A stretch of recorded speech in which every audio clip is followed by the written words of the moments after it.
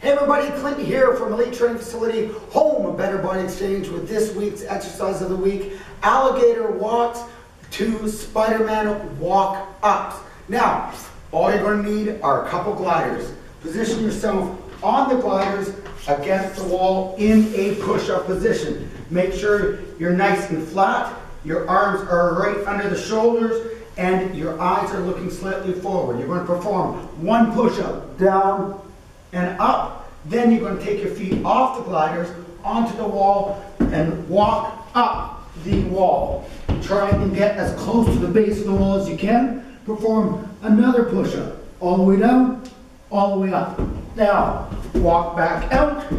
Position your feet on the glider at the base of the wall. Eyes forward, back flat.